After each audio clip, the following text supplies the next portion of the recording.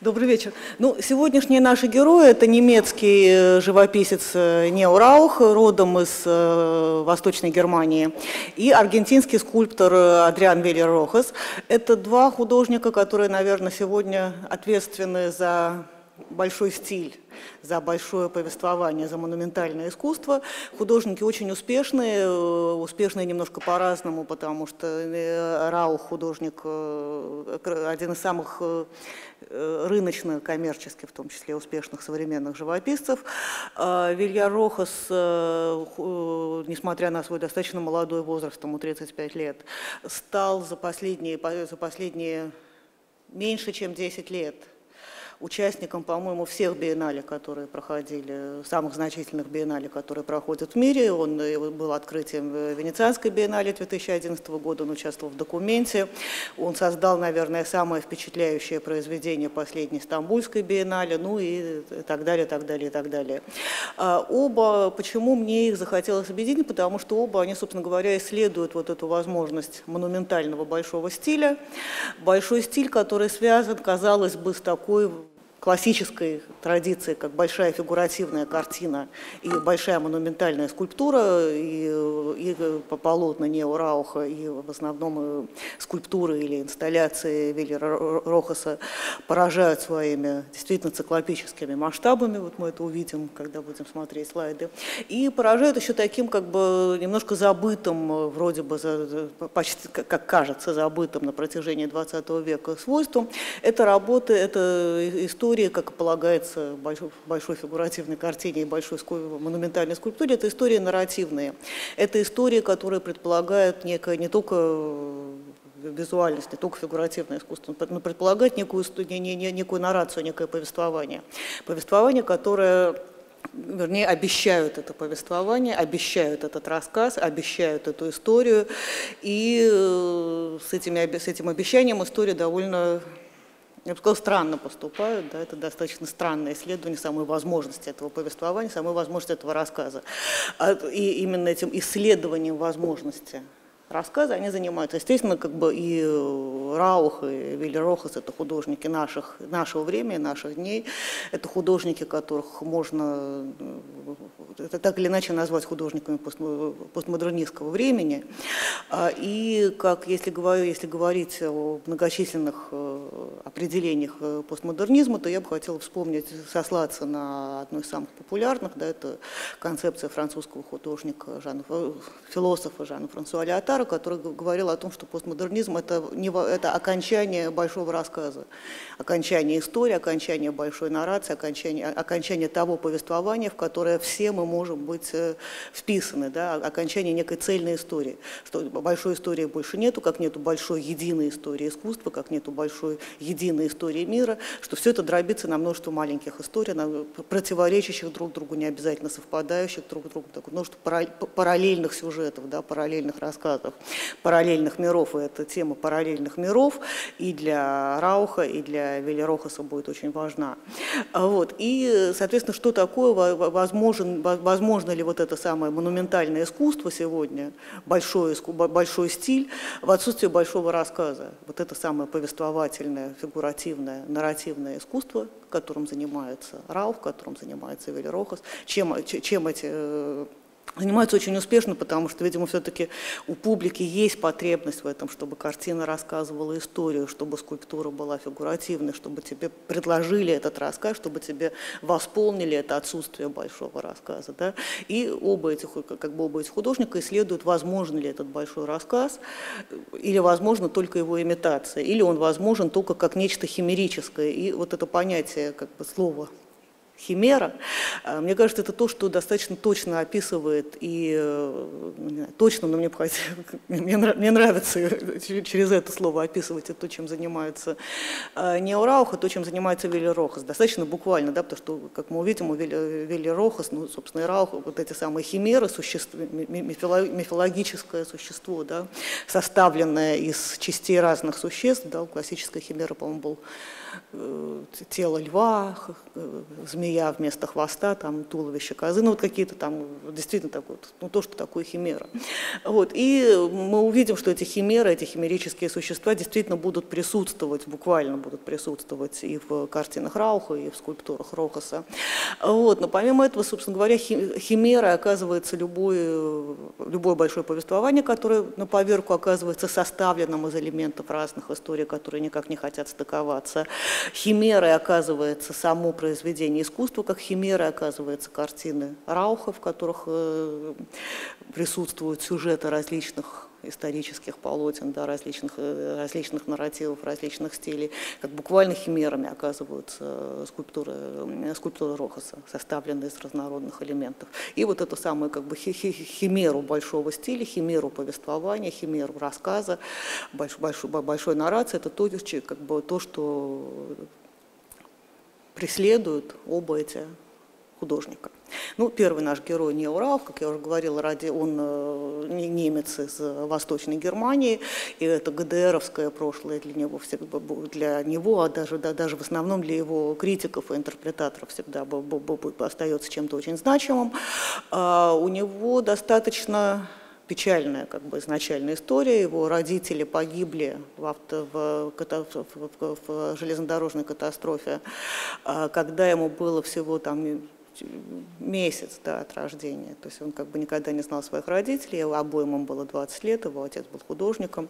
А, и вырос он в результате в маленьком, в совсем маленьком местечке с бабушкой, а, а, абсолютно отрезанным от каких-либо влияний внешних. И считается, что да, это как бы ситуация, при которой он должен был исключительно жить богатым внутренним миром и придумыванием вот этого воображаемого мира. Вот. Э, учился он в Лейпциге, Лейпциге, получил он там художественное образование, потому что для него как бы сразу было понятно, что он там ничем, кроме как художником быть не хочет и не может.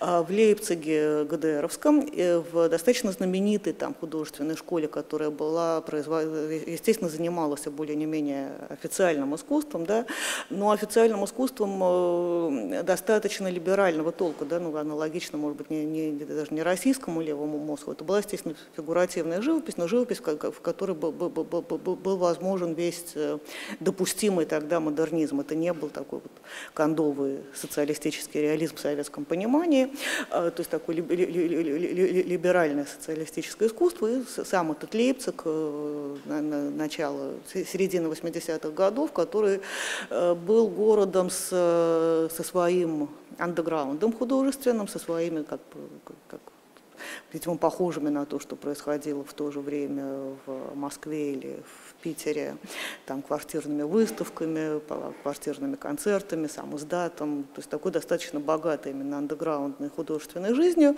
а, и а, в которой Раух, как бы, естественно, знал о ней, да, но для своих со, со, со однокурсников, для своих соучеников он оставался достаточно консервативным персонажем, потому что ну вот, в совсем ранних его работах он как бы пытался сделать то, что полагалось делать бунтующему, э, желающему попасть в андеграунд, протестующему против официального искусства художнику, он пытался, пытался исследовать абстракцию но достаточно быстро от этого отказался. Именно то, что в чем его, может быть, упрекали его со, со, со, со ученики, почему он считался консерватором, потому что он единственный, кто не, не, не, исслед... не, не занимался абстракцией, в результате занимался той фигуративной живописью, которую его учили и, и ни, ни разу не пытался выйти в какие-то другие сферы искусства, да, он не пытался заниматься инсталляцией или перформансом, вот, тоже тем, чем, видимо, занимались его сверстники, да, как, да, такого андеграундного толка. Человек занимался сразу живописью,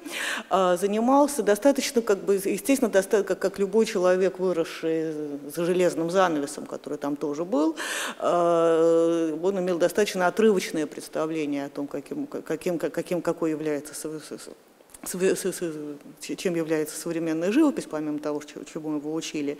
И э, там, например, и, там, среди этих отрывочных воспоминаний был, был, был какой-то, э, там была книжка, был альбом Дали, который он в 12 лет видел, потому что он был где-то на полке, остав, книжной полке, оставшейся от его родителей. Э, была выставка Фрэнсиса Бэкона, которую он посмотрел в 87 году, это было до падения Берлинской стены, который он посмотрел в Москве, потому что он, он раньше попал в Москву, чем э, в Западную Европу. Действительно, была, в то, была эта огромная, роскошная выставка в Центральном доме художников в Москве. А был бы в, в, в, Европу, в Европу, там за пределы соцлагеря, он первый раз попадает в 90-м году, он попадает в Италию и открывает, видит впервые, видит э, живьем итальянский проторенессанс Джотто, который для, для него тоже очень важен. И также фрагментарно он узнает э, западную массовую культуру, поскольку его достаточно часто ассоциируют э, с поп-артом. Это довольно странное представление, каким может быть поп-арт в отсутствии поп-культуры или с таким совершенно другим представлением о том, чем могла быть поп-культура в социалистическом, в социалистическом мире. Вот. И как бы его ранние картины, это исследование вот этой, как бы, такому модернизму, каким он может быть, но модернизма намеренно анахроничного, да, когда все рисуют э, а, а, абстракцию, он занимается фигуративной живописью, в которой есть некие как бы, оккультные мотивы, в которой есть некая как бы, тайна, в которой есть э, уже, так, уже сейчас проявляющееся ощущение, что это элементы других изображений, да, что это почти коллаж, в котором это составлено, и как бы, в котором есть есть э, некое да, крещение, да, в котором как называется эта работа, в котором есть некое э, метафизическое или мистическое начало. Вот. Но такой более не менее узнаваемый свой стиль, каким вот первый свой стиль, в котором он работает, он находит в 90-е годы, э, в середине 90-х годов. Это вот такие вот работы, исследующие архитектурные ландшафты архитектуру э, подчеркнуто модернистскую, подчеркнуто современную, архитектуру, в которой можно увидеть э, и такой очень суховатый стиль, напоминающий одновременно и, э, и поп-арт, как считывали его, как считывали Раухова с 90-х годов, он уже в 90-е годы начинает выставляться в, во всем мире, становится знаменитым художником, достаточно известным художником. А, и тоже то, что как бы в нем считывали, это отсылки к такой, к поп-арту не, к, не к комиксам, не к, массе, не к, к массовой культуре, а к таким, не знаю, там, научно-популярным изданиям, учебникам по архитектуре. Это все время не, не столько рисунок, сколько не, не, не, не столько некая живопись, не столько отсылка к некому изображению, столько отсылка к неким таблицам информации, да, иллюстрациям из учебников, э, каким-нибудь плакатам, да, причем не, не, не столько пропаганде, сколько именно вот каким-то таким образовательным, да, просветительским, популяризаторским э, материалом. Вот. И вот это вот постоянно, то есть первое, с чем он начинает работать, это вот эта самая модернистская архитектура, которую, которая может ассоциироваться и с э, историческим авангардом, да, там, с наследием Баухауза, и может ассоциироваться с тем, что от этого, от этого наследия авангарда выжило именно в социалистическом мире, да, вот та самая архитектура, как бы а, социалистический модернизм архитектурный, послевоенный, а, который с таким интересом в последнее время начинают исследовать, да, потому что, может быть, единственное, что от, от модернистского, от, аванг, от, от авангардного именно пафоса сохранилось в, в странах соцлагеря, это какие-то элементы именно архитектуры и дизайна, да, что при очень консервативной, например, живописи могла быть вполне себе модернистская архитектура, архитектура, которая, особенно в послевоенное время, да, в 60-е, в 50-е сохраняет вот этот самый утопический пафос и вот эту как бы утопию, э, огромное пространство, некие там летные поля, утопию прогресса и э, модернизму, который выжил в социалистическом лагере, он исследует. Но это как бы при этом это пространство, которое одновременно кажется все-таки уже а, опустевшими, да, это не запущенными. Это некое будущее, которое уже наступило и э, стало прошлым. Да, вот это некая обещанная утопия, которая уже начинает постепенно приходить в запустение, как, как этот самый, там, э, э, становиться как бы опустошенный. А, и это мир, в котором остаются вот эти самые там это такие тут работы с надписями, да, которые здесь не столько комиксные, сколько информационные, да, рекламные или плакатные. Вот. И как бы в ранних его работах это мир, в общем-то, безлюдный. Это мир, в котором нету людей, в котором эти самые, то, что могло бы быть обращением, да, это обращение абсолютно нечитаемое, никому не обращенное, поэтому в этих комиксных облачках, да, там какие-то крайне загадочные, энигматичные изображения вместо понятных слов, которые могли бы объяснить все это. И в его работах есть такое очень странное ощущение одновременно наглядности, да, которая должна быть э, в иллюстрациях к учебнику или в архитектурном э, чертеже, в архитектурном проекте, и абсолютной загадочности этого всего, что это наглядность, которая ничего при этом не объясняет, которая приводит нас в еще большее замешательство, приводит нас в еще больший тупик. А, и в то же время там постепенно начинают появляться персонажи, тоже обживающие этот модернистский мир, персонажи, которые сразу, как только они появляются, сбивают масштаб происходящего, сбивают масштаб этой картинки, выясняется, что этот мир все время немножко не самоштабен, все время как бы немножко с некой расфазе с человеческими фигурами, которые его населяют. Фигуры, которые опять-таки чаще всего ассоциируются с э, персонажами соцреализма, потому что это фигуры, которые заняты, это, это, там, труженики – всевозможные труженики, да, рабочие, инженеры, строители, ученые, да, вот те самые персонажи, которые были на советских плакатах, которые, скорее всего, были на ГДРовских плакатах. Вот. Но эти, как бы, труженики, которые по-прежнему занимаются какой-то бурной деятельностью, но смысл этой деятельности абсолютно ускользает. Вот что здесь происходит, да? Здесь есть, здесь есть какая-то, здесь, здесь есть стройка, здесь есть какое-то непонятное, непонятное, явно имеющее какое-то назначение сооружения, да, электростанция.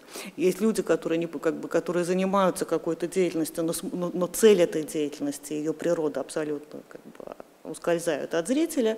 И э, как бы вот это самое как бы одновременно присутствие этой бурной деятельности, абсолютная загадочность природы этой деятельности, что должно произойти, чем они занимаются, э, как бы в чем, э, какие персонажи оказываются рядом с этими рабочими, вот там какие-то вполне себе очередные труженики, и очень странный вот этот вот сфинксоподобное как бы, существо, которое потом будет повторяться в разных, который один из э, постоянных персонажей рауховских картин, который там будет время от времени у него появляться, у него там выясняется, будет там выясняться, или вернее еще больше, делаться еще более загадочной его природа и назначение. А, вот. А, ну вот как бы вся эта бурная деятельность с каким замечательным отрешенными выражениями лиц, да, поэтому э, это действительно то, что, может быть, он, как бы, как считается, то, что он позаимствовал у Джота, вот это абсолютно отрешенные выражения лиц всех э, персонажей э, романтических сцен э, проторенессанса. И при этом это еще, конечно, э, та отрешенность, которая существует э, в сюрреализме, потому что, естественно, то, с чем, как бы, то, то, то, с чем Рауха чаще всего сравнивают, это сюрреализм, это такая вот современная версия сюрреализма, и поэтому один из персонажей на этой картине, в общем-то, как бы, достаточно очевидно заимствован с одного из ранних полотен Балтюса. И вот это как бы, и вообще, чем дольше всматриваешься в эти, в эти картинки, тем больше, оказывается, тем больше э, цитат там обнаруживаешь. Да? Это, все, это картина Химера, это картина, которая составлена, это полотно Химера, композиция Химера, которая составлена из самых разных элементов, которые можно узнавать, можно не узнавать, это может быть ложное узнавание. Да? похоже на цитату, откуда-то, но этой цитаты нет первоисточника. Вот там как бы вот эта деятельность человека, людей, которые клонированных, да, абсолютно, которые расставляют эти знаки. Вот, какие-то удивительные, как бы, вот это ощущение, да, про, вот, вот, самого прогресса и некого строительства, да, возведения чего-то нового, тоже абсолютно сбивающееся, со сбитыми масштабами, с загадочностью этого происходящего, с почему-то удвоенными этими самыми аэропортными, да, по-моему, вышками диспетчерскими, в отсутствие аэропорта с э, каким-то с смещениями масштаба, с ощущением, так, с впадением в научно-фантастическую историю, где есть вот этот, где есть какой-то на самом деле, судя по всему, голему, которого изъяли плату, да, вместо того, чтобы вынуть слово, которое заставляет его двигаться, вот этот самый голем-робот, научно-фантастический голем у него повторяется тоже в разных его полотнах, опять-таки в антураже вот этого самого соцре, как бы, соцреалистической истории про инженеров и продвинутых технарей, да, строящих светлое будущее, строящих прогресс, но при этом с такой вот угрожающей огромной фигурой. А вот, со странным представлением, опять-таки с представлением о героике и героическим жестом, который здесь э, меняется, да, и вот эти самые странные персонажи, которые могли бы быть, э, не знаю, героическими физкультурниками, которые тут тоже такими, которые здесь занимаются то ли дракой, то ли поединком, то ли каким-то рыцарским турниром.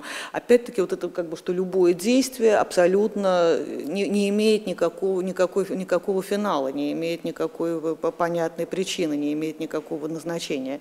А, и э, что как бы, что мы, мы, мы не, как бы, что, что инструмент, что, что все персонажи немного, как бы, что, что им дали другие предметы в руки внезапно, чем те, с которыми они привыкли работать этим фигурам, что что, что у этого человека в руке? Это, это гитара, это какой-то отбойный молоток, что как бы, и что они все немножко как бы застыли в этой ситуации, когда они привыкли действовать, они запрограммированы на некое действие, на некую деятельность, но они обнаруживают себя в пространстве и в в оснастке, да, в которой они позволяют им эту деятельность делать, эту, эту, это, эти привычные действия производить, но тем не менее они продолжают их делать, там, играть музыку.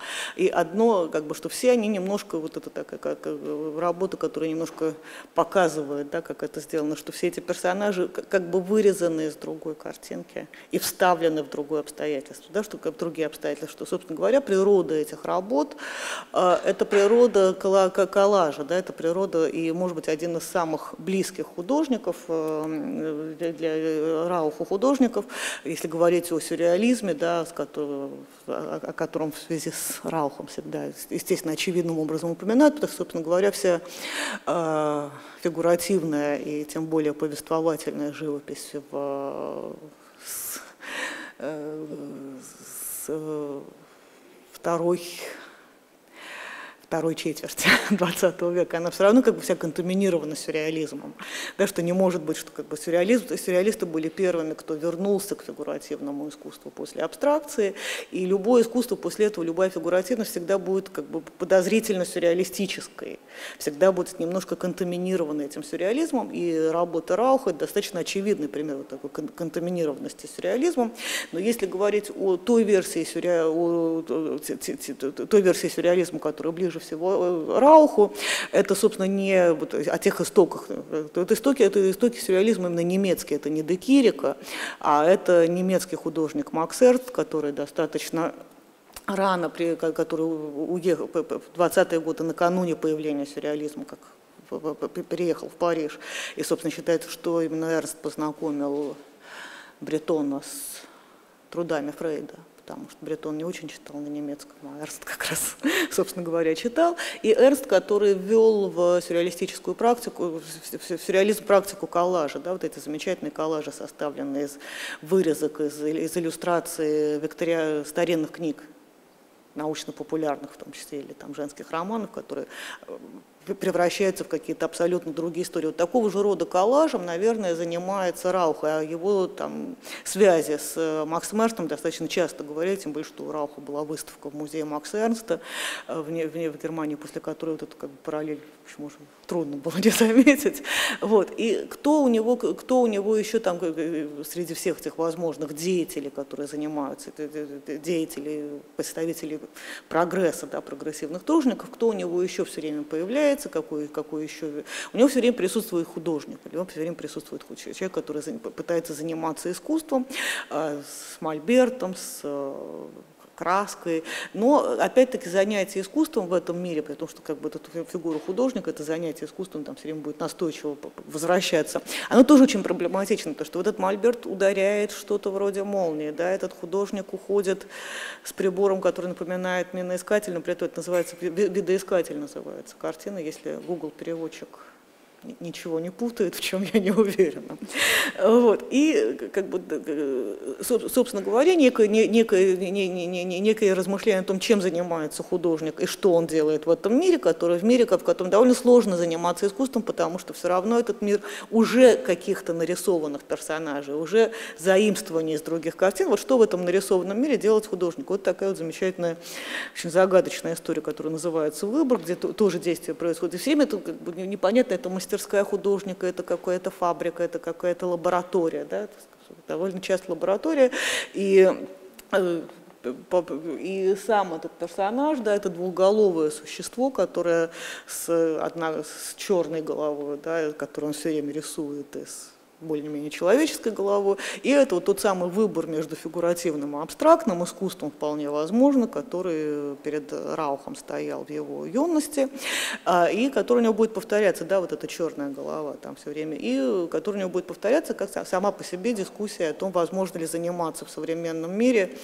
современным искусством возможно занима, по-прежнему заниматься модернистским искусством в постмодернистском мире. Поэтому там в 99 год, 99 год да, «Обучение» называется картина, где удивительным образом как раз вот там все это современное искусство присутствует. Вот там полочки Дональда Джада, чтобы уже понятно было, там какое-то черное монохромное полотно, которое то есть оно явно не черный квадрат, но, в общем, какая-то отсылка к, к абстракции, к той самой абстракции, которой он э, не стал заниматься э, вопреки тому, что ему учили, чему ему учили. Вот, но само это обучение как, происходит, это какой-то сеанс гипноза, это странная фигура сомнамбулического ученика, который погружен в сон.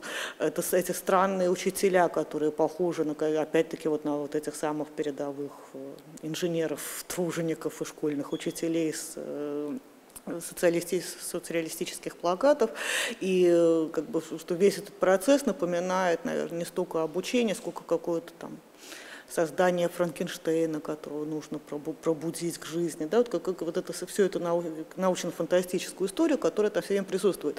Я, как бы сам Раух не дает объяснений сюжетам своих работ, это абсолютно, это для него как бы принципиально, абсолютно, что это работа, которая не имеет ключей, а он называет свои работы неудавшимися аллегориями, да, аллегории, у которых нет ключа, у которых очень много элементов, которые как бы уже, значит, забыли, что именно они должны символизировать, и опять-таки ссылаясь на писателей, на художников сюрреалистического толка, на того же Макса Эрнста, на Сальватора Дали, на Бунюэля, на Кавку, на, на Дэвида Линча, там, ну вот на весь пантеон как бы, сюрреалистических повествователей самых разных, самых разных жанров, говорит, что самое главное в такого рода повествовании – это сделать так, чтобы это избежать возможности простых интерпретаций. Это так, чтобы сделать произведение, которое не имеет прочтения, сделать некую загадку, у которой нет однозначной разгадки, тем не менее придумывать разгадки, придумывать сюжеты да, поверх его картин очень интересно, поэтому я пытаюсь это делать, ни в коем случае не говоря, что это единственное возможное прочтение, ни в коем случае не прочтение, которое предлагает художник. Это то, что из этих элементов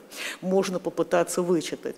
Да, вот еще один как бы, замечательный сюжет э, о таком персонаже, тоже каком-то големе, который сбегает из, художе, из художественной мастерской, вот это существо, напоминающее манекены Декирика, может быть, да, напоминающее баухаузовские фигуры, шлемеровские, с синей-красной, желтой краской, да, вот этими красками Мандриана, красками э, модернизма, который куда-то бежит, за которым опять-таки его пытается преследовать вот такой, такой же сомнамбулический, не совсем оживший человек с саблей в руке. Да, да то есть какая-то идет очень сложная история про, собственно говоря, природу живописи. Вот здесь там тут как бы про природу искусства, вот такая абстракция, которая тоже превращается в битву, да, в поле битвы, абсолютно фигуративное, при этом достаточно помпезное полотно, э, где это разливание краски превращается в кормление птиц, и как бы опять-таки эти битвы за абстракцию, это то, что, о чем Раух вспоминает очень иронично, это то, что происходило во времена, может быть, его юности, и то, что уже тогда, да, там, в 80-е годы было по его, по его определению достоянием воскресных художников, да, что как бы обсуждать, э, что в конце 80-х годов обсуждать, э, что правильно, абстракция или фигуративное искусство, было настолько анахронично, что этим занимались художники, которые выставляются, на, выставляются по воскресеньям на уличных вернисажах в парках, да, что это уже там уровень живописцев из перехода ЦДХ, да, вот эти, эти, эти дискуссии. И как бы при этом эта битва все еще ведется, при этом это вот то, то самое запаздывание, которое, с которым, а, тот анахронизм, то запаздывание, с которым, наверное, сталкивался, он сталкивался как художник, выросший в, за железным занавесом, как художник, выросший в соцлагере, это не то, что это не абсолютный консерватизм его учителей, это то, что как бы, на, наоборот, как бы, наоборот, скорее учителя, там, у которых он учился, были достаточно э, прогрессивными, достаточно модернистскими. Но это очень запоздавший модернизм, это модернизм, которым... И вот именно это запаздывание модернизма, это та ситуация, с которой Раух работает, анахрони... как бы заведомая анахроничность не только прошлого, но и современности. Современность доходит, до, до, до, приходит к нему с запаздыванием. Современность, пока она до, до, доходит до этого самого социалистического мира, а, успевает устареть. Это некое устаревшее будущее, это некий устаревший прогресс, которым вот это, с этим устареванием прогресса он работает, когда сама по себе вот эта битва за абстракцию оказывается э, сюжетом э, намеренно анахроничного псевдоакадемического полотна. Да?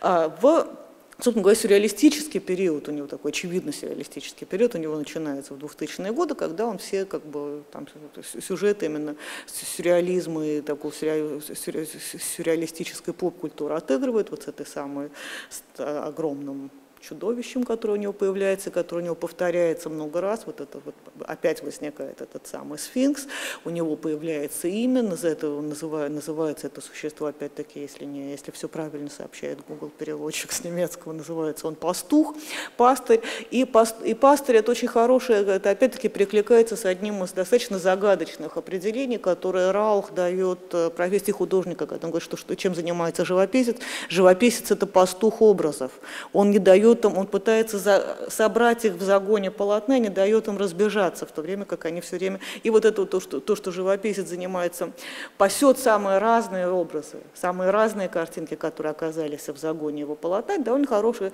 и, которые он не создает, да, которые сами по себе существуют в искусстве, которые ему нужно сбить в стадо, которые ему, нужно как-то провести. Это довольно хорошая, как бы, вот, где появляются, вот, вот этот персонаж опять появляется, который который появляется в виде уже человека. Да? А в картине, которая называется «Конспирация», появляется еще один, как бы появляется вот еще один такой как бы вариант этой самой химеры, да, собственно, которая у него. А вот такая вот скульптура, которая была, кстати, на Московской биеннале четвертой. Да, вот такой да, странный как бы химерический и, и, и, и поджигатель, и бюрократ, и кентавр, все одновременно, очень, как бы, как бы явно очень фрустрированный да, тем, что он не знает, что ему делать с собой, какой деятельностью ему заниматься. Да, вот очень замечательное существо, одна из очень редких, кстати, у Рауха скульптур. И как бы то, что приходит на смену вот этой истории про такую еще как бы уставшему футуризму, да, вот уставшему, уставшему социалистическому модерну, это такая откровенная сказочность, да, куда мы проваливаемся через, как, через эту самую как бы э, разваливающаяся современность, да, одрехлевший, одрехлевший модернизм, исчерпавший себя прогресс, мы проваливаемся в сказки, да, в такую в архаику, и появляются вот эти действительно сказочные персонажи, очевидно, в эту природу, природное, хтоническое и сказочное, а, с такой явной галлюцинаторностью, да, с этими самыми мухоморами, с какими-то вот с такими, абсолютно таким вот странным, уже совершенно сказочно-психоделическим пространством, а, в котором все возможно, в котором начинает рушиться, рушиться и слоиться пространство. И опять-таки появляется очень, абсолютно, да, меняется оптика, если его ранние как бы, работы 90-х годов были плоскостными и работали принципиально с этой модернистской архитектурой, здесь появляется объем как бы, появляется пространство и появляется намеренно архаическая архитектура, да, Каримский ордер, почему-то у этой самой избушки Каримские колонны. Да, то есть это некий как бы, разрыв во времени, это некий провал в историцизм. Появляется игра с масштабами, да, которая всегда была одним из сюрреалистических приемов вот этой сказочности. И появляется намеренно архаизированная манера как изображение и какой-то явный провал в другое время. И еще, э, еще более странной становится деятельность, которой занимаются вот эти самые тоже явно какие-то прекрасные труженики, да, чем они на самом деле занимаются. Они размораживают мандрагору они размораживают абсолютно вот это сказочное существо. И как бы, вот эти, как бы, здесь тоже возникает этот лед, да, возникает, э, и, может быть, этот сюжет следом, что что-то разморозилось, да, что-то оттаяло, да, как как нечто в фильме. Оно, оно, оно здесь достаточно работает, потому что что оттаивает, что, что появляется? Появляется историзм. Да? Это в 2000-е годы, там где-то с начала 2000-х годов, работа сюжета Рауха, то пространство, с которым он работает, там абсолютно начинает исчезать вот эта вот такая шестидесятническая советская прогрессивная модернизм, и все это начинает проваливаться в XIX век абсолютно анахроничный XIX век, с персонажами этого XIX века, опять-таки занятыми деятельностью, опять-таки занятыми, где творец, который творит мир, но творит его как, как, как ученый в лаборатории. А, но сама эта идея там, прогресса некой деятельности, некой научной деятельности абсолютно типа, терпит поражение.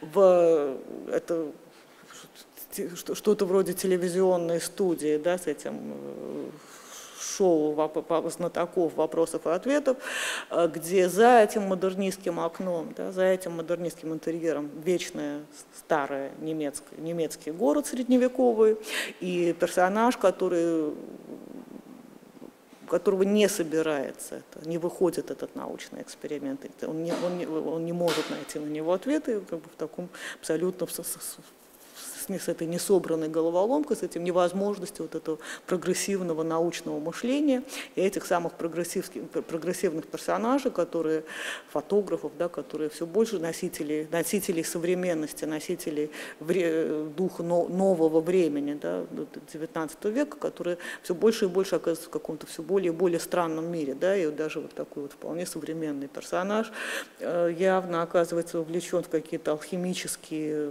процессы, да, связанные с, с Меркурием, с ртутью. И как бы здесь же он опять повторяется в какой-то еще более этой самой алхимической ситуации. Вот. И как бы мир начинает меняться, это все, как бы все более и более проваливается в XIX век. За витриной вроде бы современного магазина в этой витрине лежат отрезанные головы, судя по всему.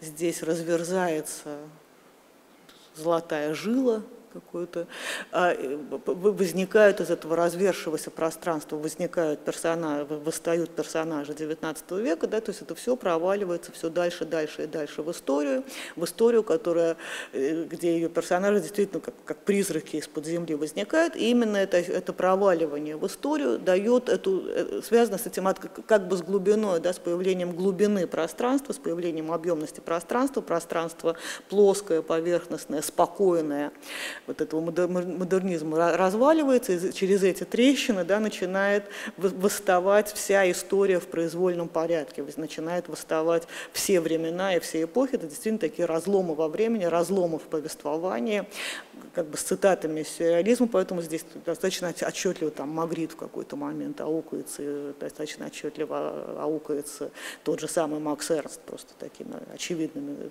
такими, все-таки считываемыми цитатами. Да, и возникают самые разные химеры, возникает вот эта огромная птица с со змеиным хвостом, которая тоже вполне себе максерстовский персонаж, да, возникает синий слон, возникает, как бы начинает происходить, как бы персонажи начинают тоже мутировать в, каких, в какие-то химерические существа, и начинает, и как бы абсолютно начинает меняться пространство, в котором начинает все больше и больше возникать вот этот самый 19 век. Оно начинает, 19 век, начало этого самого, начало современности, начало этого прогрессивного мира, века там, не знаю, где все реалии смешались, да, где там, есть кеды, да, эти опознаваемые героини. Э, герой вполне возможно держит ноутбук да, в руках, а может быть, а может быть и нет. Да, но при этом это как бы это никакого времени, никакого времени больше нету, никакого, никакой современности больше не существует. И э, там как бы, происходит это как бы абсолютное смешение являются ангелы, является, начинается какая-то невероятная мистицизм, начинается ощущение большого события, как катастрофы, даже такой, как бы, где попытка бегства неудавшаяся. Вся эта модернистская архитектура да, теряется где-то в лесах, еще там где-то оставаясь, а, абсолютно уходит как фантом. Видно, как, этот, как, это, как эта современность да, буквально превращается в руины, буквально мутирует, да, вот обрушивается, да, мир обрушивается, поезд, да, дом, превращающийся в поезд, или поезд, который замирает, это поезд, который был на одной из ранних работ, который замирает в виде вот этого самого деревенского дома. Э, и как бы вот это действительно вот это все там. И действительно это одна из картин, где видно, буквально видно, как меняется пространство, порождая этих двойников, порождая эти деформированные существа. И в этом мире, в этом абсолютном мире, где все возможно, начинает происходить, собственно, попытка большого рассказа, попытка большой истории. О чем это рассказывает? Об, о восстаниях, о бунтах, там возникают о каких-то заговорах, об, э, это, это то, то, что пытается показать вот этот большой исторический великий исторический момент. При том, что сам как бы Рау говорит, что он принципиально художник, не работающий с современностью, что для него слово «дух времени» звучит как э, артиллерийское, как, как, как залп, как оружейный залп во время казни, и что он работает не с, не, не с болью современности, а с фантомными болями арх, архетипических ран. Да? И вот это самое, как бы фантомные боли, это очень хорошее определение, потому что вроде бы здесь происходит вот что-то героическое, историческое, историческое, горящие знамена, да, вот какой-то великий исторический, переломный исторический момент, героический момент. Но мы не знаем, что, как бы, но, но это абсолютно, это некая история, которая остается без разгадки, которая абсолютно, это некий архетип всех историй вообще, да, где есть все позы героизма, где есть вулкан, где есть там э, заговорщики, где есть ожидания варваров, а, но как бы никак, никакая история здесь, как бы, где какие-то пытки есть, да, вот то, что достаточно все, все то, что ему может быть героического, жестокого, болезненного в исторической живописи, но, но, но, но все невозможно. Да? Револьт, бунт не состоялся, слова не, да, не единственные, кто могут пытаются сложить эти слова, да, еще эту революцию, это дети, которые играют в эти буквы, остальные все там уже как бы проваливается обратно. А, и это постоянное столкновение двух миров, может быть, единственное, как бы Раух очень, на самом деле, отрицает то, что то, что он делает, это о естественно, конце большого рассказа, конец большого рассказа, который был для, для него, да, для людей его поколения, был в том числе еще крушением соци, социализма, крушением вот этого деления мира на две системы, крушением возможности вот этой самой идеи альтернативы. Конечно, для него это было огромной радостью, что этот социализм прекратил существование и что Берлинская стена рухнула.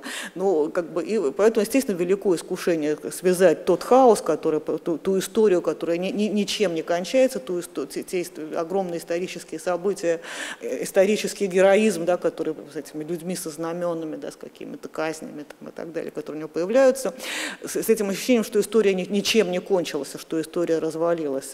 Сам э, художник об этом говорит, что он не, не, что никогда не считал вот это столкновение двух систем, да, катаклизм этих, и крушение этой двух своим главным сюжетом, но, может быть, это единственная картина, где вполне отчетливо есть стена, да, которая разделяет эти два мира, и где вокруг этого разделения, вообще он любит эту композицию с, раз, с разделением, да, полотна, э, где это присутствует, это все-таки достаточно можно считать при желании. Хотя Собственно говоря, идея Рауха в том, чтобы ничего не надо было там считывать, что это какое-то, что это действительно вот этот пастух образов, которые в этом, в этом стадии непонятно, непонятно, кто оказался, непонятно, из всех из, как бы вышли сюжеты, как бы, что, что это, это какая-то, это масленица, да, это какая-то игра, это э, это солдаты Ирода, да, которые казнят всех. Почему у них отрезанные головы в руках, поэтому они там здесь... Это очень интересно пытаться придумать эти сюжеты. При этом это сюжеты, которые строятся по театральному принципу. Это еще одна удивительная вещь, которая есть у Рауха, и которая его отличает, наверное, от очень многих, почти от всех художников, которые занимаются фигуративной, даже такого сюрреалистического толка живописи сегодня, вот от Бойманса, да, которому, от Бороманса, о котором мы говорили на прошлой лекции, что Раух это может быть единственный фигуративный художник, который не строит свои картины по, кинема, по, по кинематографическим законам. Там нету фильма, там есть театр вместо фильма, там есть, как бы, там есть замкнутость этой ситуации, вот эта театральная сцена, сцена, в которой есть некая клаустрофобичность, потому что ничего не продолжается за ее пределами. И вот этот театр здесь достаточно отчетливо появляется, причем театр, в котором еще на этих персонажей, которые выступают на сцене на фоне занавеса, наставлены как камеры, наставлены мольберты, да, наставлены холсты. Ну, и, как, как мне кажется, да, что это тоже какой-то очень...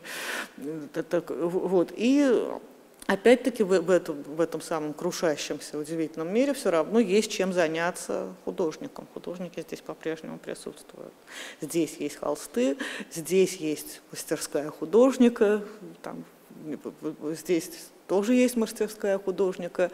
Вот. И как бы, как бы мир, который рушится, в котором как бы какие-то остатки картин, которые мы видим, остатки, клочки полотен, которыми как-то засеивается этот мир. Да, я опять-таки говорю, что и замечательная фигура вот в этой картине, замечательный этот живописец, уже в, практически в мизансцене немецкого романтизма, который зарисовывает крушащийся мир, но в какой позе он сидит, от, откуда, как мне кажется, эта фигура заимствована, это э, Иоанн Богослов, э, записывающий свои видения в апокалипсисе, да, это, это фигура из очень... Вот, вот этот апокалипсис, который он пытается зарисовать абсолютно невозмутим да, среди всего.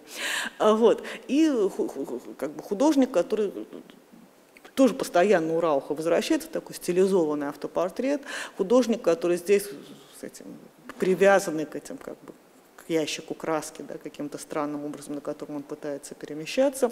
Художник, который выглядит как носитель прогресса, да, как вот этот самый человек современного, нового времени, да, как изобретатель, да, как герой Жюль Верна, да, и который абсолютно застрял в абсурдности собственных изобретений.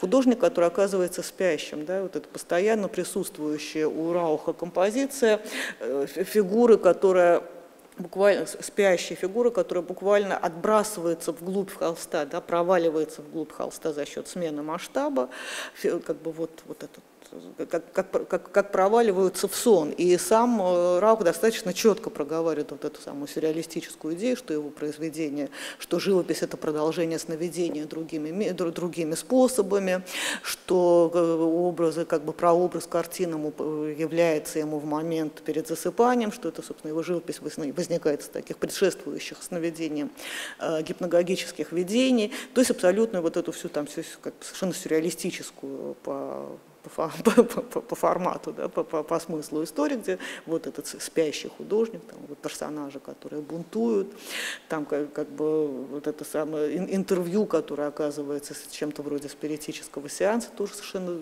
как бы человеком, который скорее пребывает в состоянии транса медиумнического.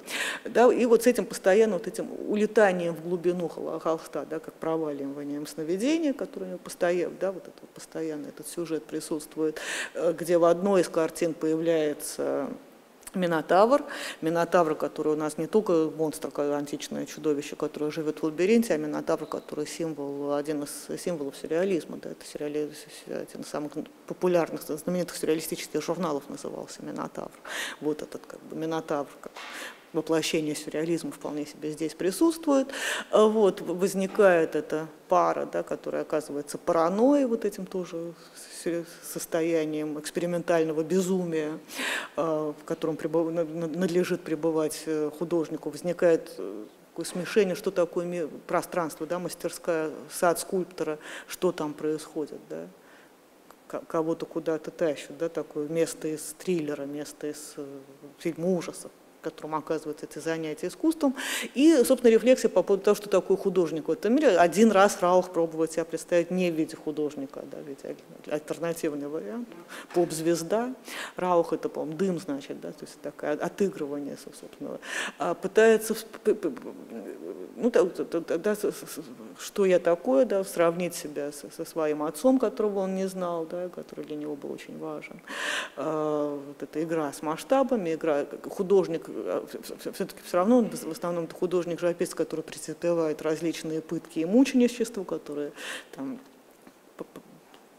того и гляди повеситься на, пытается повеситься на собственном мольберте, видимо, у которого связаны руки, которого коронуют или в то же время казнят, да, и выставляют к позорному столбу.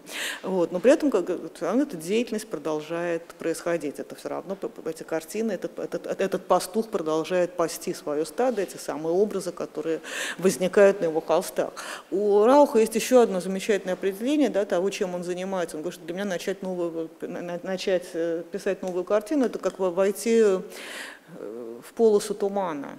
Я не знаю, что меня ждет. Вот это белый холст, это полоса, это как туман, в который надо войти, чтобы пройти и что-то обнаружить на другой стороне. И это как бы это очень красиво, это очень сюрреалистический образ, да? но это образ, который немножко э, сдвигает нас с сюрреализма, что это все-таки, что все образы уже есть в, белом, в этом белом холсте, уже есть все образы, надо просто развеять, надо их извлечь из этого тумана, что это не образы подсоз... личного подсознание художника, что это не его личные воспоминания, что это, некое, что это то, что уже присутствует в любом холсте. В любом холсте присутствуют все образы, их надо только оттуда извлечь. Это стадо надо только собрать. И это может быть, как бы, а, что все-таки Раухут такой псевдосюрреалист, что, конечно, все образы, это не его подсознание, это все образы, это подсознание культуры, это подсознание перепутавшихся всех исторических персонажей. Мне работа Рауха еще напоминают как бы, с, его театральностью, с этими э, героями, заимствованными из раз, одетыми в, одетыми в костюмы всех возможных эпох, заимствованными из всех возможных сюжетов, с этими перепутанными декорациями. Напоминают э, проект э, Томазо Маринетти, да, основоположника футуризму, который очень интересовался еще возможностями там, перформанса и театра, у него был, э, еще, э, ненавидел театр, да, потому что как бы, итальянец-футурист, который хочет разорвать с прошлым, что он должен ненавидеть больше всего оперу итальянскую.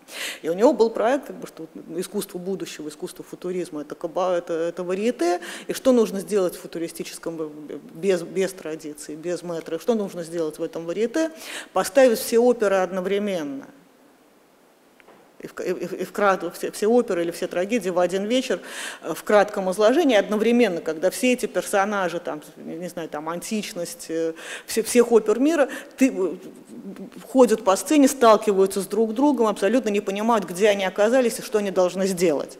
И получается, ну, естественно, фарс получается, получается вот это бургли, как бы.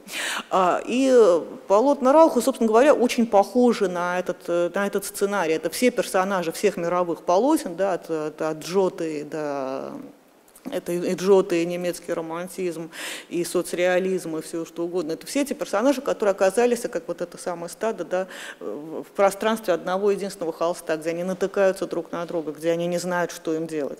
В каком-то смысле это как бы действительно это коллаж, но это как бы это, это, это работа, которая сделана по принципу, даже не только коллажа, но по принципу, вот была такая в 60-е годы, в конце 50-х была такая в европейском поп-арте э, жанр деколлаж когда жанр, связанный с, с работой с афишами, да, афиши уличные, которые, как известно, во много слоев клеют, и дело художника – это слоями отдирать эти афиши, чтобы из разных слоев складывалась некая история. Вот как бы то, то, что делает, э, как мне кажется, Раух, это такой вариант деколажа, да, то есть это когда слой за слоем снимается сознание, да, и вот у нас под, под, под, под соцреализмом обнаружился романтизм, под ним обнаружился Джота, а под ним что, еще что-то обнаружилось, и обнаруживается вот эта самая как бы ситуация такого путешествия внутри культурной памяти, путешествия, вот такого деколажа.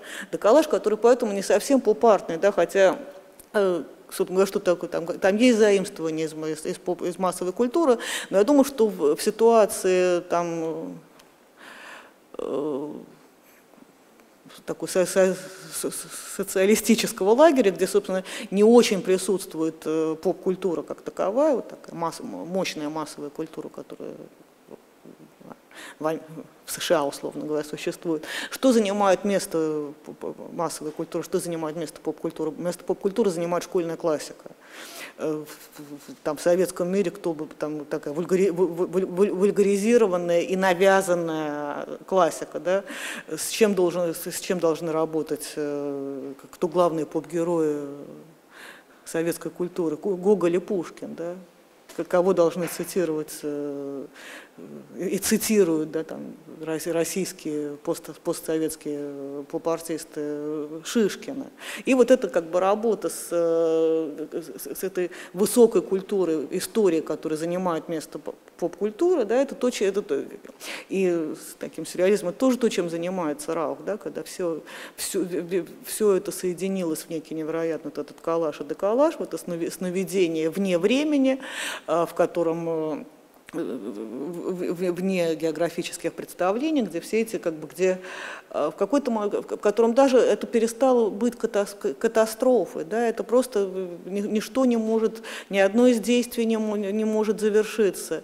Это действительно как бы ни, ни одна из, э, ни, ни, ни, ни один из сюжетов не, не, не, не, не, не, может, не может достичь кульминации, развязки, поэтому невозможно трагедия. Все трагедии уже произошли, все уже случилось все, все, все, все существует зацикленное, да, поэтому как бы один из э, Даниэль Бернбаум, за куратор и критик, пишет, когда он пишет о Ралхе, вспоминает Ницше, вспоминает историю вечного возвращения, что э, все, количество элементов в мире конечно, количество их комбинаций тоже конечно, поэтому мир когда не обречен все время себя повторять через какой-то промежуток времени. Все, сюжет, все живописные сюжеты постоянно себя повторяют и обречены друг друга повторять в этом мире, в котором кончилась история, в котором нету большого рассказа, в котором все оказывается в таком, в общем, уже достаточно идиллическом состоянии, да, и поэтому возникают вот эти картинки с такими яркие, как бы раскрашенные, да, с такими яркими цветами, что из этого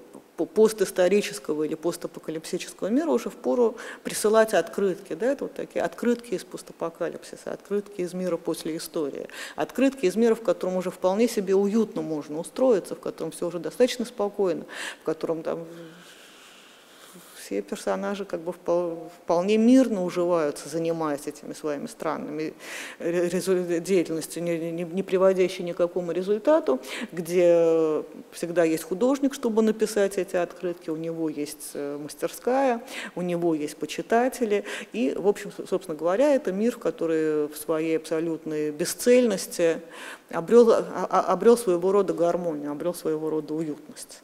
Э, и как бы мир, в который э, вот это выпадение из истории оказывается вариантом пребывания в таком как бы сновиденческом да, состоянии, оказывается по-своему очень э, комфортным, да, по-своему очень уютным ирони, иронически, иронически уютным.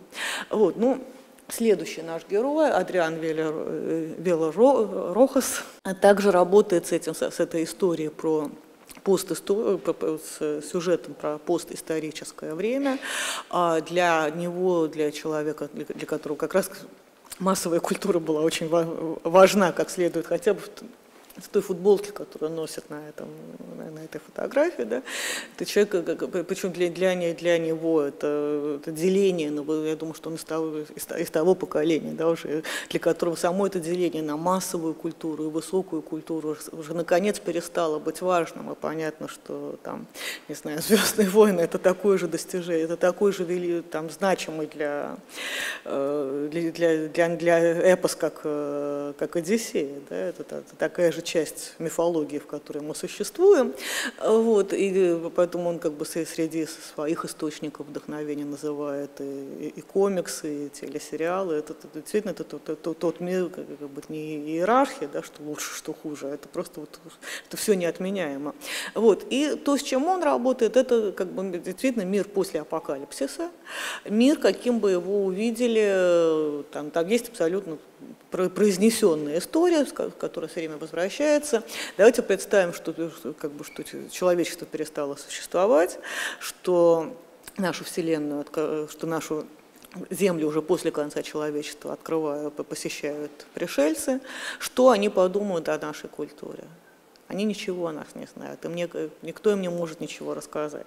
Это как бы постчеловеческий мир с точки зрения пришельца, для которого там iPhone, э, статуя Христа, панцирь черепахи, э, одинаково непонятное, ничем друг от друга не отличимы. Как эти, как, как эти существа будут, как говорит э, Велорохос, использовать нашу культуру как ready-made чтобы на основании ее создать свои смыслы, создать, сгенерировать свои смыслы, найти этому, этим образом, найти им совершенно новое, другое значение. Вот. Ну, Вилла Рохас занимает скульптор, поэтому он не получил образов... по образованию, он как, как раз наоборот живописец и рисовальщик, и одним из первых его, одним из первых его желание было заниматься комиксами, рисовать комиксы. А, в 2004 году он выиграл некий междунациональный аргентинский конкурс для начинающих художников, ну такой и по условиям этого конкурса получил э, мастерскую в свое распоряжение, мастерскую в Буэнос-Айресе, он, собственно, родился в другом городе. И в этой мастерской, как бы вместе со всем, что к ней прилагалось, был, э, был некий запас глины. И он впервые стал лепить из глины. И стал лепить из нее, собственно говоря, все, что он знал. Да? Ему понравился этот материал, с которым он работал впервые, он никогда не учился на скульптора. И он, собственно, вылепил вот эти самые остатки мира, все свои воспоминания. Он там впервые оказался один, да, он до этого никогда не жил один, да, в этой мастерской, в новом для себя городе, где он стал во всех подробностях лепить ну, как бы все, что приходит в голову, лепить некий, некий вот этот самый мир бесконечных, а, а, бесконечный архив воспоминаний. Вот этот самый глиняный архив, с которым он работает, это, собственно, как бы тот, как бы он, те рисунки, которые он делает до сих пор, он э, придумывает некий визуальный образ, он не, не думает руками, он думает образами. И, вот, это то, как бы с чем начинает работать. С глины, которая долгое время была, собственно, именно с глиняных скульптур, глиняных глиняных скульптур необожженных он прославился. А глина – это еще материал, это материал, который также для него связан, это как бы самый древний материал в истории человека, с которым работает человечество. Это материал, э, связанный с землей и с почвой, это материал, который для него связан еще с, у него такая есть постоянная история, что как бы практика. Он в каждом городе, где он выставляется, делает вот такое, не, не для публики, да, почти незаметное глиняное гнездо птичье, потому что это единственная там аргентинская птица, которая живет только в Аргентине, является символом этой страны. Это единственная птица, которая делает, делает гнезда из глины. И вот эти глиняные гнезда он как бы тайком, абсолютно ну, спектакулярным образом размещает в различных, в каждом из городов, в котором он выставляется. Иногда это может быть все его участие в биеннале, да, оставить 70 гнезд размещенных непонятно где, которые надо искать.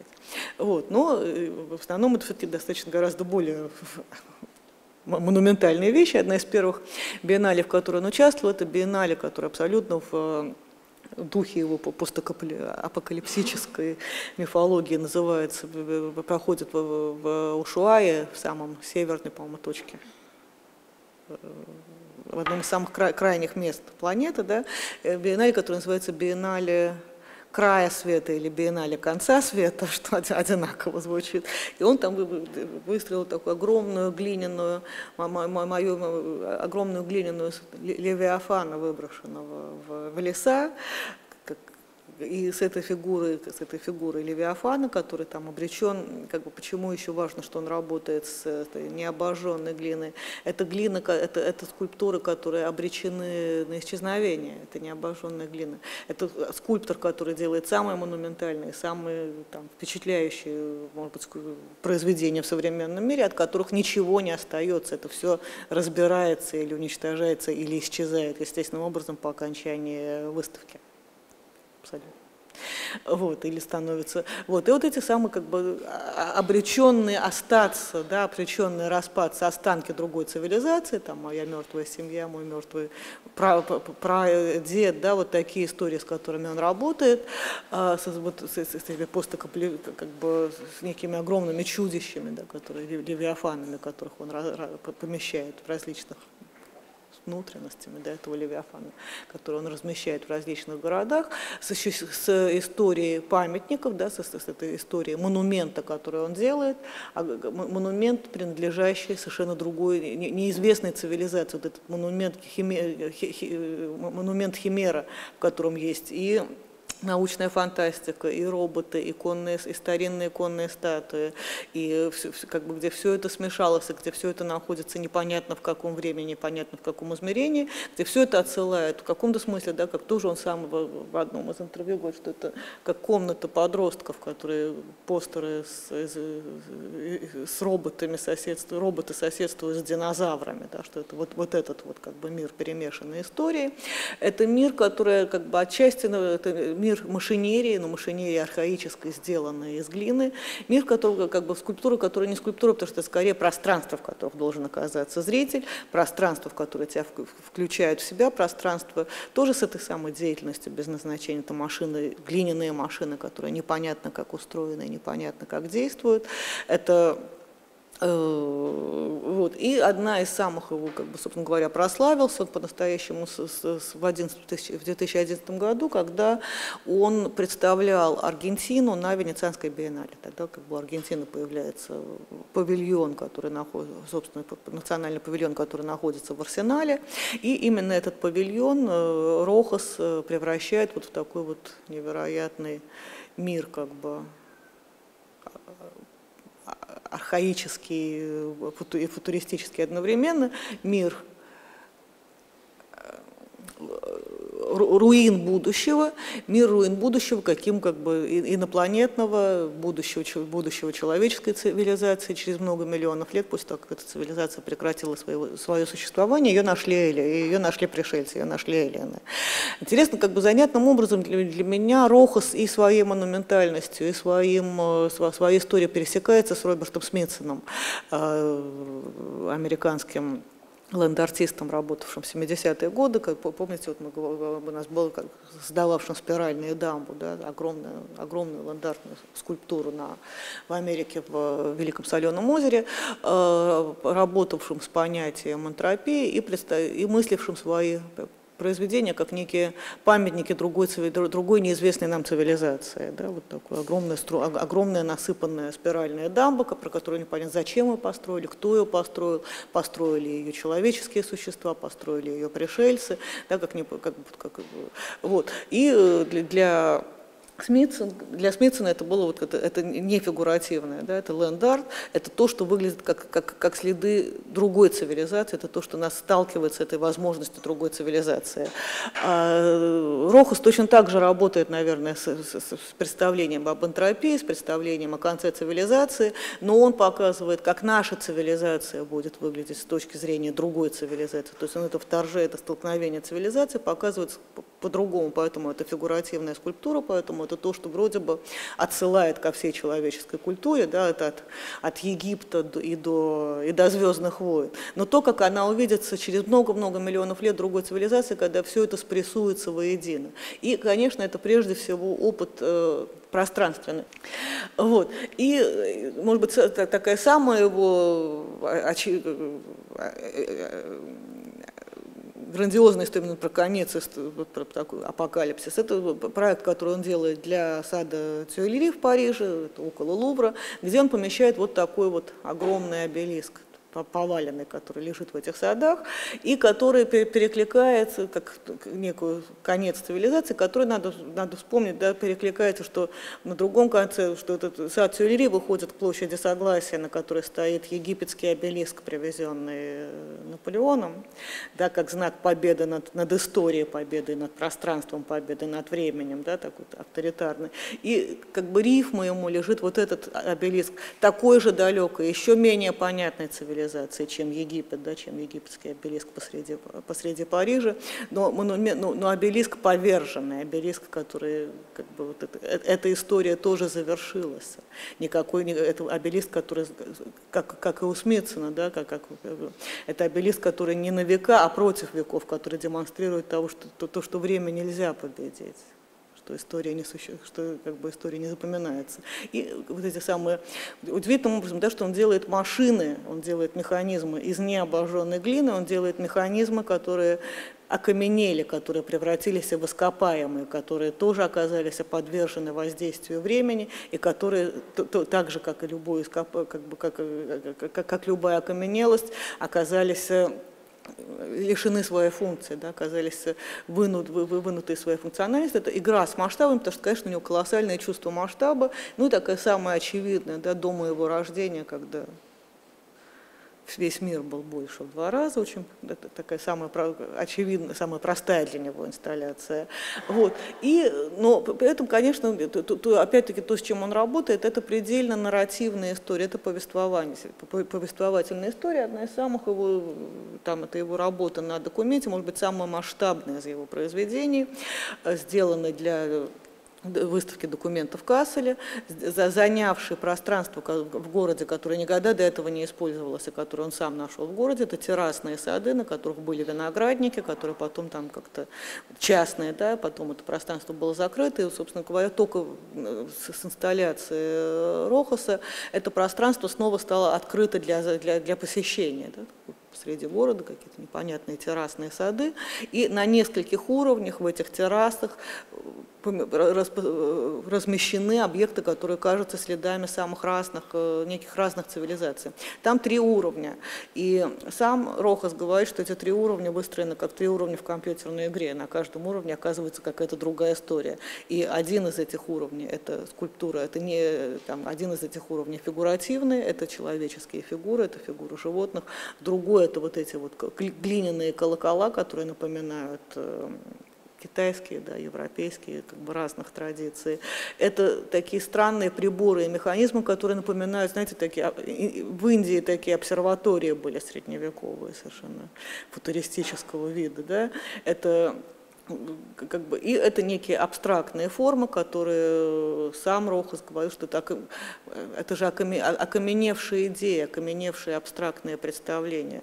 Это человек, как бы, что человек привык сводить природу да, к квадрату, кругу, треугольнику, но сами эти абстрактные понятия, которые казались вневременными, сами эти идеи, там, что такое чист абстракции, сами они могут окаменеть, сами они могут стать ископаемым, сами они могут стать достоянием времени. И из, потом из этого уровня там, механизмов абстрактных идей еще один уровень, это уровень вот этих вот фигуративных скульптур, очень человеческий рост, неожиданно, не, не, неожиданно тактильных, на которые ты в какой-то момент выходишь, да, в какой-то момент спускаешься. Это, это достаточно огромное пространство, где важно не только то, что ты, не только сами эти скульптуры, а важно то, как ты их проходишь, сколько времени у тебя занимает осмотреть все это, осмотреть эту инсталляцию, что ты можешь там найти, что ты там не можешь найти.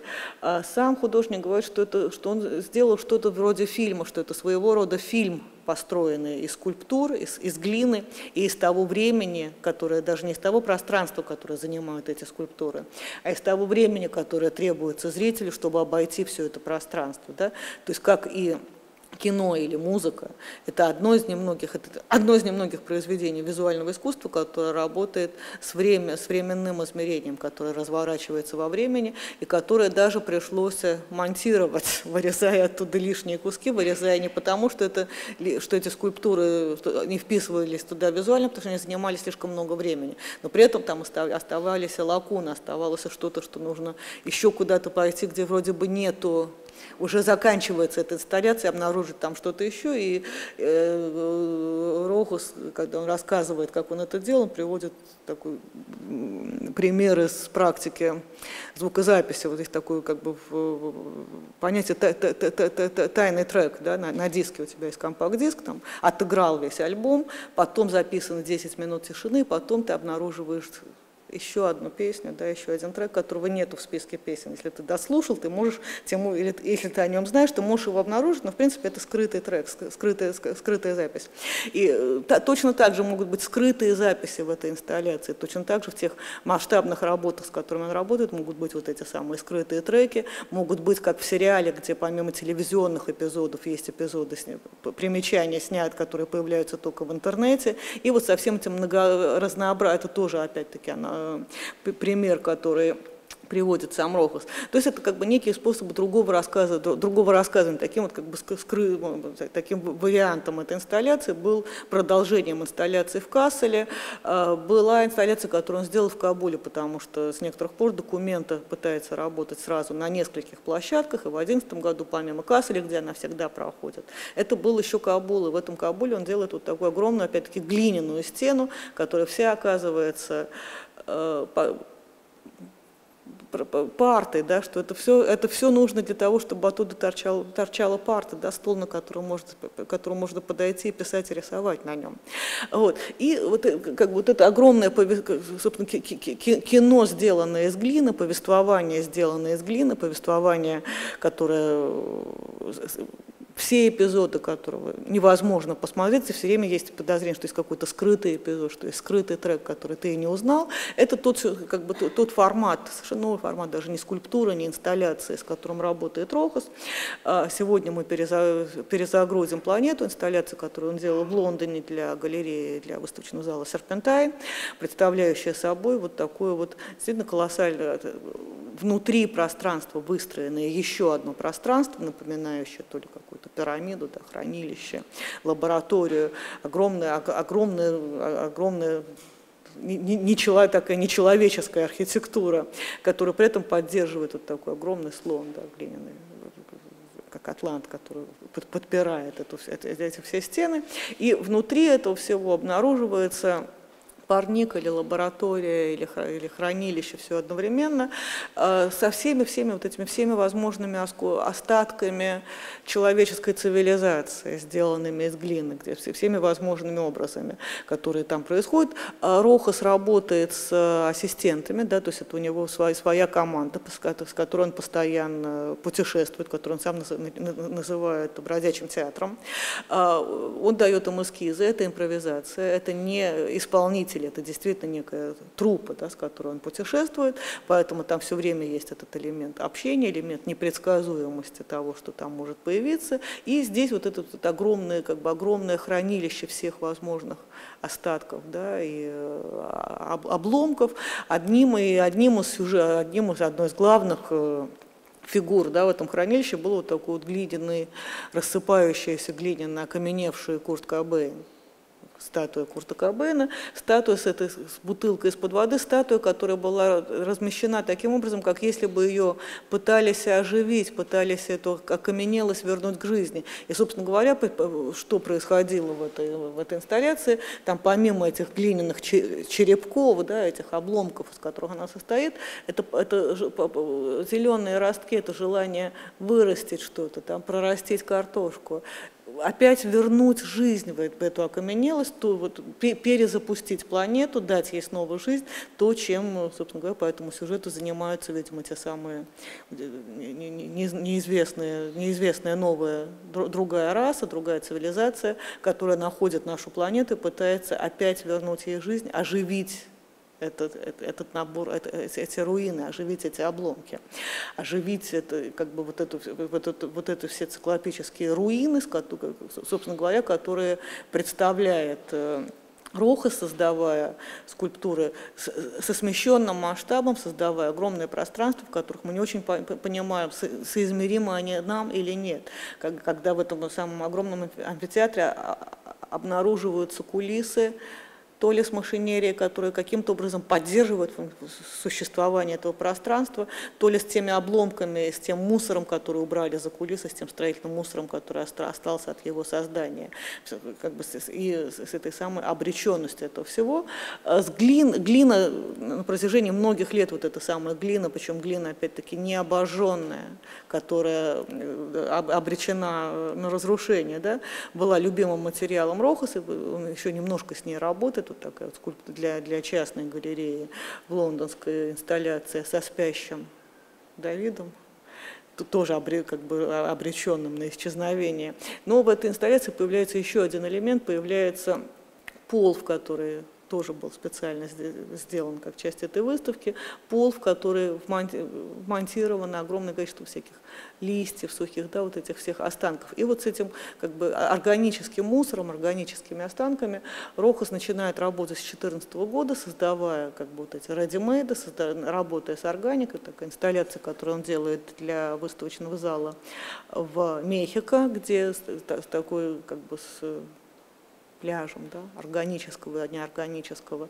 с коллекцией этих всех предметов, редимейдов, вот с этой самой, как раз этим ощущением, как увидят нашу, на, на, на, на наш мир другая, абсолютно другие существа, которые не будут знать, чем тыква отличается от, от кроссовка, да, что из этого, которым понадобится время, чтобы разобраться, что, это, что из этого рукотворное, что из этого природное. И вот эти коллекции, да, всяких, а, как бы, коллекции остатков земной, земной жизни, которые превращаются в игрушки для, или в э, сувениры для вот этих самых других существ. Рохас работает в последнее время, такая выставка для, для музея в Стокгольме, да, тоже самыми разными останками, да, удивительно красивыми. А, и еще один проект, где как раз эта глина сочетается с этими остатками, с которым как бы сюжет, с которым он делает несколько выставок.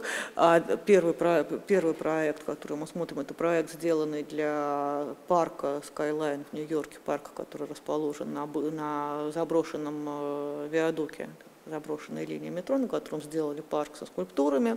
И вот среди этого парка, который, парк, который как современному парку полагается, выглядит скорее как что-то заро, как, как пустырь, чем как, как парк, парк из сорняков. Да, такая.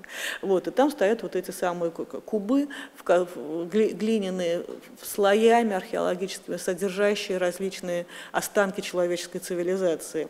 Э, по этому же принципу сделаны, сделаны скульптура да, или инсталляция инсталляция для музея Луи Вуитона в Париже.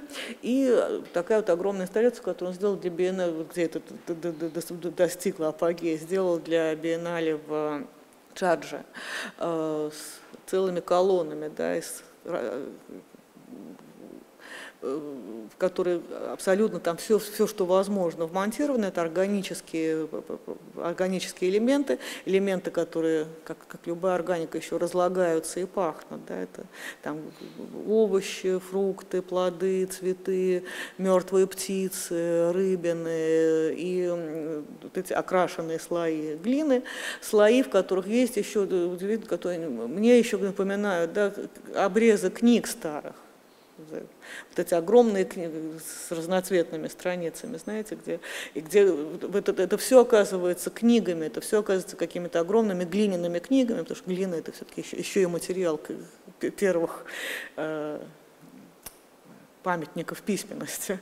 Книга, в которых как, как закладки, да, как цветы, заложенные между страницами, остаются вот эти все как бы гниющие, разлагающиеся, усыхая, рассыхающиеся элементы Э, органического мира земного. Вот. И э, с той же самой органикой, с мусором, да, с, с этим с, с ссором, э, Рохас работал для своей для инсталляции, которую он делал в биеннале в, в Стамбуле.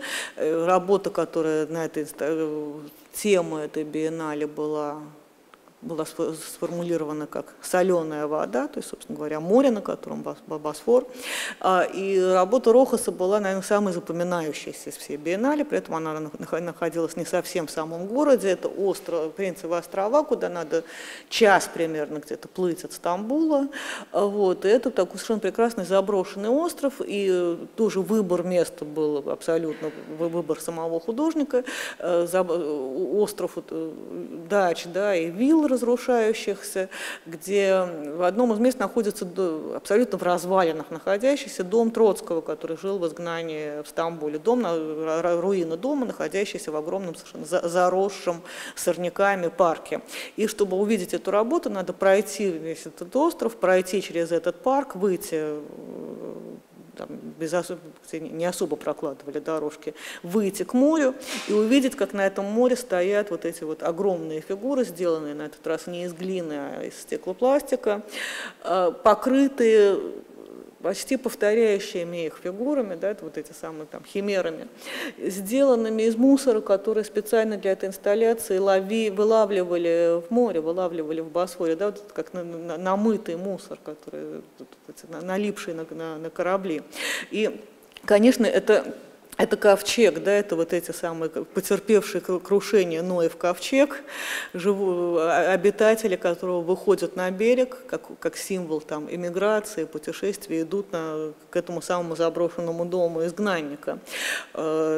У Рохаса тоже было да, забавно, что это ковчег в исполнении Диснея, который идет навстречу Троцкому, да, что это такое, вот, такое действительно сумасшедшая, сумасшедшая психоделическая версия Диснея, Но так или иначе это действительно ну, там, дух, дух захватывало от этого всего, от этого мусора, от того, как прорастает эта органика, покрывая эти белые скульптуры, а, и э, как бы что с ними происходит, и как это выглядит, и как все это читается внутри этого. Действительно, как бы, то, то, что он делает, это действительно химера, это действительно скорее уже не скульптура, а именно что статуя, да, статуя со всей их мифологией, что в статуе должно быть нечто чудовищное, да, что статуя это всегда э, довольно жуткое, да, что а, а невозможно, не, за пределами воображения, что-то, что играет с нашим страхом перед тем, что, что, это может, что живое может окаменеть, да, окаменевшее может ожить, и они все, все вот в этой разных стадиях оживания, да, что через, или окаменения, что из них выступает,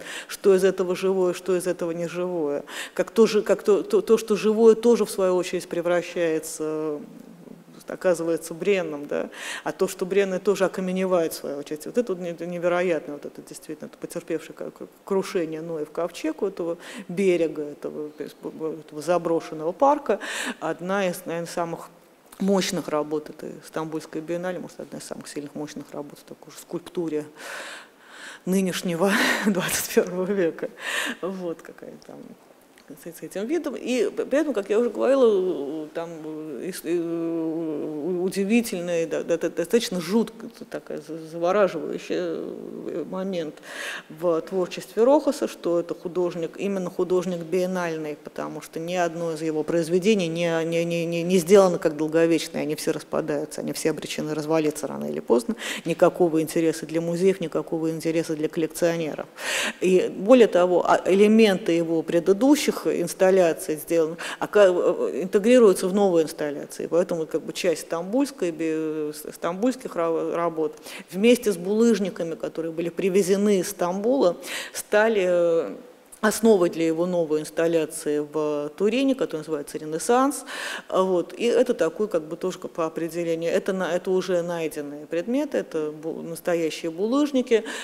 Сам э, Рохас определяет эту инсталляцию, что это такой сад камней, японский сад камней на стероидах, да, разраз, истерически разросшийся, с огромными вот этими турецкими булыжниками, кусками как бы, а, фруктов, органикой.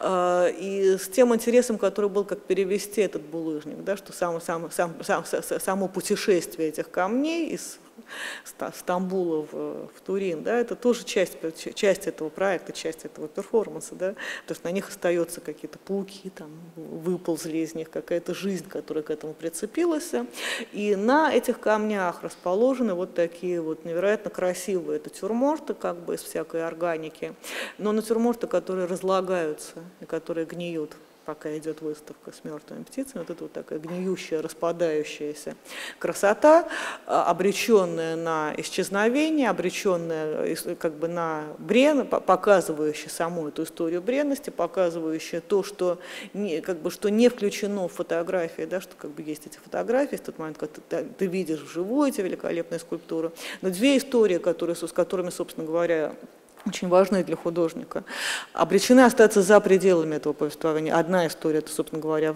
разрушение и время, а другая история – это сотрудничество. Это то, что это сделано вот этим самым постоянными сотрудниками, что это общение, что это некое коллективное творчество. Э, общение, вот это присутствие людей живое – это то, что остается за пределами работы. Ход времени – это тоже то, что, тоже, тоже то, что остается невидимым для зрителя. Это то, что видит, это то, это, это то, без, это то как увидит мир после конца человечества, как увидят мир другие, другая, другие существа, пришельцы. Они не увидят ход времени, и они не увидят э, присутствие людей общения. Поэтому вот эта любая, любая выставка, которую ты видишь, это вот этот самый мир с точки зрения остатки человеческой цивилизации, с точки зрения пришельцев. Но, как бы, это, это, конечно, это тоже история про это про конец истории, про конец большого рассказа. Но, как ни странно, наверное, у Рохаса этот, этот рассказ все-таки еще возможен, потому что, собственно говоря, если у Рауха в его мире все замерло и все обречено повторять самое себя. У Рохаса сами его скульптуры все-таки включены во время, потому что они бренные. Время по-прежнему идет, история по-прежнему происходит, и возможно начать что-то новое, потому что это распадется однажды. Спасибо.